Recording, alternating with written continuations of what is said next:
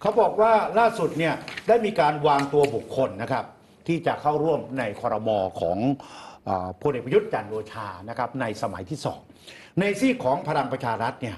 แน่นอนที่สุดก็จะมีการจัดสรรหลายส่วนนะน้องตาลน้องฟาง แต่ว่าครับส่วนหนึ่งก็คือโควต้าของคอรมอเก่า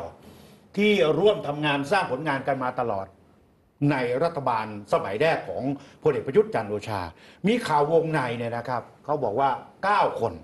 จะยังคงอยู่ในคอรมอชุดใหม่ครับครับ 9 คนนอกเหนือจากพลเอกประยุทธ์จันทร์โอชาแล้วมีใครครับพลเอกประวิตรวงษ์สุวรรณนะครับ ก็ยังอยู่ในตำแหน่งเดิมรองนายกรัฐมนตรีว่าการกระทรวงกลาโหม เหตุผลก็อย่างที่เราเคยนำเสนอท่านผู้ชมไปแล้วครับว่าพลเอกประวิตรนี่สามารถที่จะเป็นเกราะสามารถที่จะเคลียร์อะไรหลายต่อหลายอย่างให้กับพลเอกประยุทธ์จันทร์โอชาได้นะครับ ไม่ให้ไปถึงบิ๊กตู่ ถ้าไม่มีเนี่ยโอ้โหมันเป็นเรื่องเลยนะครับเป็นเรื่องที่ที่จะต้องทุ่มสรรพกำลัง แล้วก็หาคนที่มีบารมีเท่ากับบิ๊กป้อมเนี่ยมาดำเนินการนะครับ เช่นเดียวกับอาจารย์วิสุทธิ์เครืองามอาจารย์สมคิดจาตุศรีพิทักษ์ยังอยู่ในตำแหน่งรองนายกรัฐมนตรีนะครับพลเอกอนุพงศ์เผ่าจินดาบิ๊กป๊อกนะครับหนึ่งในสามปอก็ยังอยู่ที่เก้าอี้รัฐมนตรีว่าการกระทรวงมหาดไทยนะฮะ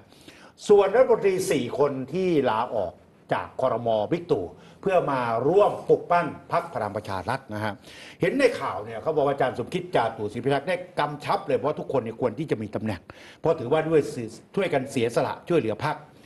เพียงแต่ ตำแหน่ง 4 คนที่มา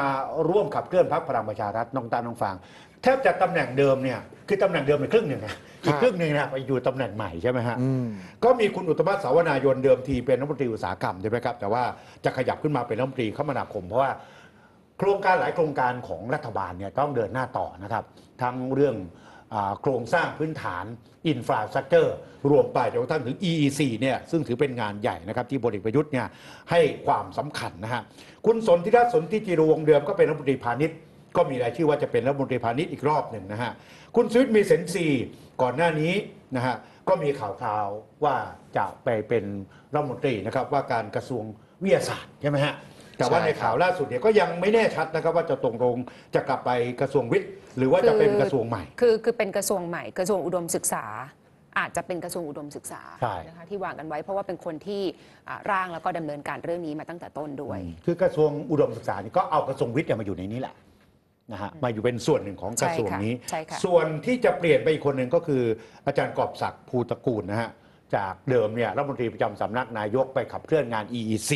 ในข่าวบอกว่าไม่แน่ อาจจะขึ้นไปนั่งตำแหน่งใหญ่ครับเป็นรัฐมนตรีว่าการกระทรวงการคลังฮะครับแทนคุณอภิศักดิ์ตันติวรงค์ซึ่งข่าววงในบอกว่าขอวางมือแล้วนะฮะไม่เอาแล้ว ไม่เอาแล้วครับ อืม